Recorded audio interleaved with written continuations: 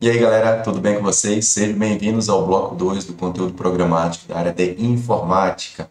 E nessa videoaula a gente vai estar falando do item 3 de redes de computadores, né, que tem aqui na tela para vocês. A gente vai falar de conceitos e definições. Tudo porque, pessoal, lá no edital, se a gente for dar uma olhadinha lá, o item 3 fala de redes de computadores, porém, se a gente olhar mais embaixo, tem aqui introdução a redes, temos aqui a camada física, subcamadas, fala de noções básicas de transmissão de dados, né? redes de computadores, no item 11 repete novamente essa nomenclatura, falando de redes locais, metropolitanas e de longa distância. E assim por diante, né? modelos de arquitetura OSI e TCP. Então, é, entendo que esse redes de computadores aqui no início seja para a gente tratar dos conceitos e principais definições, ok? É, redes de computadores, a gente vai trazer aqui algumas definições. Uma rede de computador ela é dita como uma coleção de computadores autônomos conectados com a finalidade de compartilhar informações, arquivos e recursos. Essa é a primeira definição aí para vocês.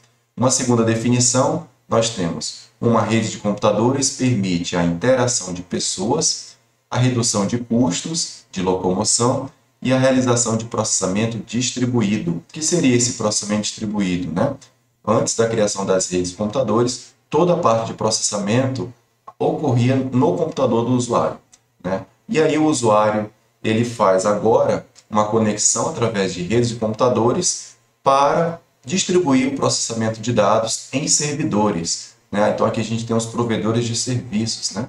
que provém diversos serviços que antes eram executados unicamente na máquina do usuário. Então agora a gente tem aí um processamento distribuído por meio das redes de computadores. Ok? Além disso, redução de custos com relação à locomoção, né? Num período de pandemia, é, o trabalho remoto né, reduz custos tanto para a empresa como para o funcionário, o ensino à distância também da mesma maneira e assim por diante, ok?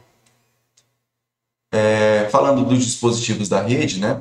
Mais uma pequena definição aqui de redes de computadores, ó. Uma rede é a interligação de um conjunto de dispositivos capazes de se comunicar. Ok? Tomaram nota? Essa aí é uma definição mais sintetizada do, do que é uma rede de computadores. Só que ele trata aqui de dispositivos capazes de se comunicar.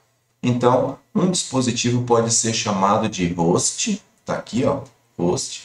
Tá? Também outros autores da área de redes de computadores chamam de sistema final, ou ainda sistema terminal, ou ainda hospedeiro, ou ainda ETD, tá? equipamento terminal de dados.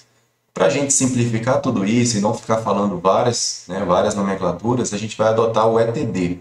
Tá? Então, a gente vai dizer que um desktop, um computador de mesa, um notebook ou um smartphone, todos eles em uma rede de computadores é chamado de ETD, equipamento terminal de dados.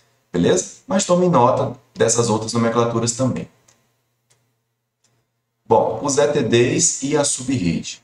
Esses dispositivos, que a gente vai chamar de ETD, se comunicam, se conectam ao que nós chamamos de subrede de comunicação, tá? que permite que um ETD se comunique com outros ETDs da rede. Em outras palavras, a gente permite que vários computadores se comuniquem em uma subrede. Por que subrede? Né? E não rede ainda de computadores. Tudo porque, pessoal, a gente começa a fazer a conexão dos nossos dispositivos em uma rede muito pequena. Né? Aqui a gente tem aqui a representação do nosso ETD, né, os três dispositivos, e eles estão numa subrede. Para vocês terem ideia, certamente vocês estão fazendo uso de uma subrede, primeiramente, né, da sua casa, do seu escritório, do seu trabalho, né, para poder assistir esse vídeo. Essa subrede é uma pequena parte de uma rede maior, que é uma rede metropolitana, né, uma rede que envolve toda a cidade, depois uma rede de ampla distribuição geográfica, que é a internet tá bom? Só para a gente entender esse conceito aqui de subrede. E nessa subrede nós temos um dispositivo que amarra todos os ETDs, que é o roteador. Tá? Então os roteadores são chamados de nó. Ele faz o nó da rede. Um nó que liga todos os dispositivos que estão vinculados naquela subrede. Tá? São chamados de roteadores. Só que, além disso, para que esses dispositivos possam se comunicar nessa subrede, nós temos os protocolos, que são as regras de comunicação do computador com o roteador do roteador com o computador e assim por diante. Beleza? Então, resumindo, três elementos estruturais que compõem uma rede de computadores. Primeiro, a subrede de comunicação, composta pelos nós da rede, que a gente já sabe que são representados pelos roteadores, ou ainda comutadores, que é uma nomenclatura um pouco mais antiga. Temos também o ETD, são dispositivos conectados à subrede de comunicação e que geram e consomem bastante informação. Gerar e consumir, em outras palavras, é enviar e receber informações dentro da rede. Então, são os nossos computadores, nossos notebooks, né, smartphones e assim por diante. E, por fim, é, os protocolos são as regras que regulamentam a troca, envio e recebimento de dados entre os ETDs e os nós da rede, ou seja, os roteadores. Tudo bem, galera? Ficou bem clara aqui a definição, tá? Então, esses aqui são os três elementos basilares de uma rede de computador. A gente está falando aqui de ETD, o protocolo de comunicação, que é a linguagem, assim como a gente adota aqui a língua portuguesa para se comunicar, os dispositivos precisam de uma linguagem padrão para enviar e receber dados dentro de uma subrede. Ok? Então a gente tem a seguinte visão aqui, uma visão geral da subrede. Vamos supor que aqui eu estou no departamento de informática, nós temos lá cinco computadores que estão vinculados ao mesmo nó, ou seja, a um determinado roteador que conecta esses cinco computadores do departamento de informática. Vamos supor que aqui do outro lado nós temos os cinco equipamentos do departamento de recursos humanos, tá? que também estão vinculados a um determinado roteador que faz o nó daquela subrede.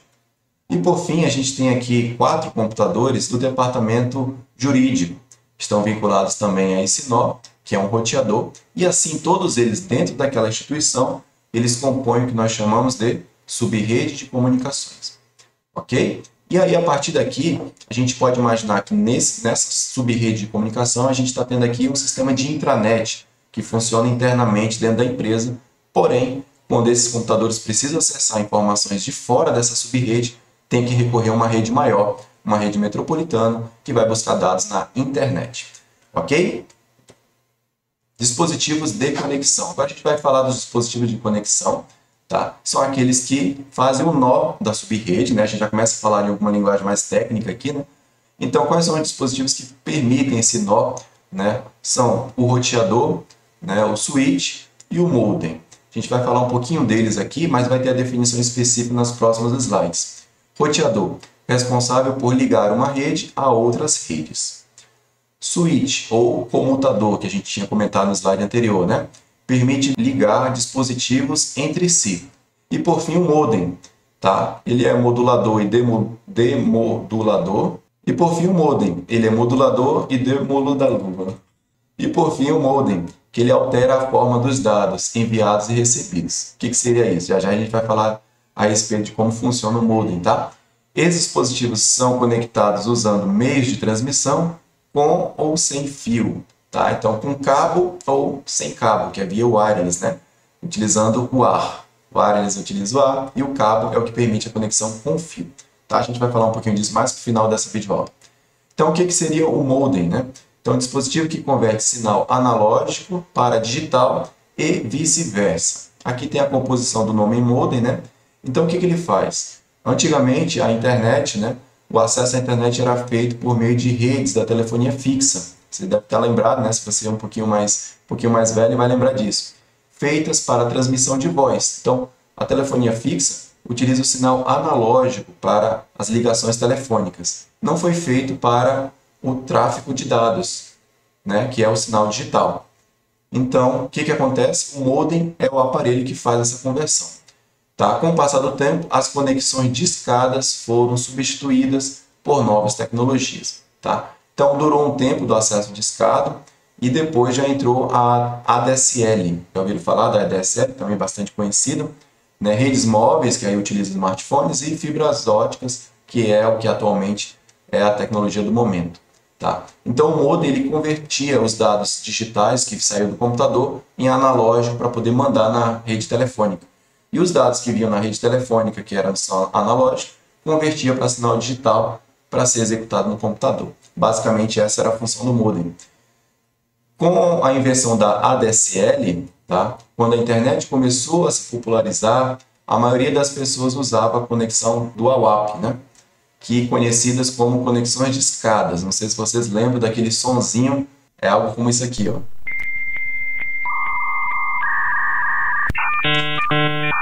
É, além de ter esse som, né, ele ocupava a linha telefônica inteira. Quando você, você tinha que acessar depois da meia-noite, porque ele gastava só um pulso de ligação, né? Se você quisesse usar durante o dia, ele ficava consumindo ainda mais a tua conta telefônica e vinha uma fatura enorme para você pagar. Né? Então ele ocupava a linha telefônica. Qual foi a saída que o, que o pessoal inventou? É, eles perceberam que na chamada de voz do telefone utilizava apenas uma pequena parte da comunicação de transmissão da linha. Então a outra parte podia ser utilizada para a internet. Né? Então a tecnologia DSL aproveita justamente a parte não utilizada. Então aquele espectrozinho que não utiliza no canal de comunicação do, de voz da linha telefônica era utilizado na, para a internet por meio da DSL, que tem essa nomenclatura aqui. Se vocês quiserem anotar, tá? Linha digital assimétrica para assinante. E aí, não sei se vocês lembram, galera, desse dispositivozinho aqui, né? Ligado lá no, no na entrada do, do telefone, lá do canal da linha que vem para o telefone. E aí a gente ligava aqui a internet na parte do modem, né? O modem ligava aqui e o telefone nesse outro canal. Tá? Isso foi bastante conhecido Tá? Essa aqui basicamente era a definição que a gente tinha, né? Nosso computador ligado via cabo ao modem e o modem ele era ligado aqui nesse, nesse filtro, né? Chamar de filtro, onde o telefone também era ligado e aí tudo vinha aqui para a linha telefônica. Tá? Basicamente era assim que funcionava, para vocês terem uma ideia. Ok? É, outros dispositivos de, de conexão que nós vamos falar agora é o hub e o switch, tá? que o objetivo é interconectar os computadores de uma rede. Os dois têm o mesmo objetivo, só tem uma diferença que, que faz com que o switch seja melhor que o hub. O hub, dispositivo que retransmite os dados de um computador, de um ETD, né, para todos os outros ETDs da rede. Então vocês estão vendo aqui na imagem, esse primeiro computador enviou uma mensagem para outro computador da rede, porém ele envia para todos ele é meio que um duplicador, um replicador de informações. Então ele congestiona muito a rede, porque a partir do momento que um computador manda uma mensagem aqui, por mais que seja para um, um, outro computador específico da rede, esse sinal chega para todo mundo. Mas só quem abre a mensagem é o receptor. É assim que funciona o hub. Tá? Então ele, ele acaba sendo muito. Ele congestiona muito o canal de comunicação, porque ele manda para todos os computadores tá? mesmo que a mensagem seja somente para um determinado computador. E aí, vendo essa problemática, tá? criaram o Switch. É uma versão mais sofisticada do Hub, com canal de comunicação. É, ele cria um canal de comunicação entre a origem e o destino. Não precisa mais mandar para todo mundo, tá? sem necessidade. Né? Então, aqui nesse exemplo, eu tenho esse computador aqui. Ele quer enviar uma mensagem para esse computador que está mais acima. Tá? Então, ele ó, vai direto vamos supor que esse computador também ele quer enviar uma mensagem é, dele para, ele quer mandar uma mensagem para essa escaneadora, né? E ele manda também direto. Não precisa mandar para todo mundo, como fazia no Hub. Ok? Então a gente tem basicamente essa definição aí. É, aqui a gente está tá falando agora do, de que esses dispositivos precisavam ainda, né? Eles conectavam todos esses ETDs mas ele precisa se conectar a um roteador, um modem, tá? roteador, modem, como a gente vai conhecer, para poder ter conexão com outros computadores, com a internet e assim por diante. Tá? A gente fez aqui só uma definição de hub e switch para vocês. Então, o roteador, que é o mais atual, tá? um roteador ou router, né? é um equipamento que recebe e direciona pacotes de dados dentro de uma rede para outras redes essa definição de, de roteador. Além de ele conectar os ETDs, ele também se comunica com outras redes. Além de executar as funções do switch, que é de centralizar a conexão dos, dos ETDs, né? O roteador tem como diferencial a capacidade de determinar a melhor rota para um pacote de dados chegar até o seu destino. Então essa, essa é uma das funções basilares do roteador, galera, que é o que? Ele recebe um pacote de dados, ele vai tentar encontrar o menor caminho para enviar esse pacote até chegar ao seu destino, coisa que já não tem no hub e no switch. Então, o roteador Wi-Fi pode ter ou não portas para conexão via cabo, tá? E esse cabo é o cabo Ethernet, possibilitando uma rede mista. O que é a rede mista? uma rede de, com cabos e também Wi-Fi. Então, se a gente falar de cabo Ethernet, a gente está falando daquele cabo par trançado, tá? Então, esse cabinho azul que você tem aí, né, no seu computador, ele é, um, ele é chamado de cabo par trançado. Por quê? Se você descascar ele, você vai ver que ele é todo trançado por dentro, tá? Os pares são trançados, as cores específicas para fazer a comunicação. Por isso que chama de cabo par trançado. Quando você compra esse cabo numa loja informática, você vai ver que ele não vem com aquele conector aqui na ponta. Você precisa comprar o conector também, que é chamado de RJ45. Então, o RJ45 é esse conector que vocês estão vendo aqui embaixo. E aqui em cima, tá? São os conectores do cabo par trançado, só para vocês tomarem nota aí. Roteador mais modem. Então, em um roteador Wi-Fi convencional, pessoal, tá? Tome nota disso. É necessário conectar ele a um modem de conexão à internet, tá? Independente se é fibra ótica, DSL e assim por diante. Nessa imagem aqui, a gente tem um roteador que é tido como convencional. Ele precisa ainda estar vinculado a um modem para poder ter acesso à rede telefônica ou via cabo coaxial ou então cabo de fibra ótica. O que é o cabo coaxial mesmo? Né? É aquele cabinho que normalmente a gente conecta é a antena, né? A antena do nosso televisor para acesso a, a, aos canais abertos, né? Então esse aqui é o cabo coaxial e esse aqui é o cabo de fibra ótica que tem várias fibras de vidro que transmitem em alta velocidade, enviam e recebem dados em alta velocidade. É a tendência, é o que está sendo utilizado mais recentemente. Ok? Então o roteador convencional ele precisava do modem ainda para fazer essa conexão. Porém, os roteadores hoje são chamados de modem roteadores. Tá? É, mais recentemente, as empresas fornecem um modem roteador Wi-Fi. Já tem tudo embutido no mesmo dispositivo. Ele já faz o processo de modem, faz o processo de roteamento e de Wi-Fi tudo junto. Então ele unifica as duas funções, além de oferecer as opções de dual band. O que, que isso significa? Aquelas faixas de, de transmissão com relação à velocidade da internet de 2,4 GHz e de 5 GHz, tá? Lembrando que essa faixa aqui de 2,4 ela tem um alcance maior dentro da tua região aí, do, teu escritório, da sua casa, porém a velocidade da internet é um pouco mais lenta. Já o de 5 GHz, ele é mais curto, porém com uma velocidade muito maior. Ok?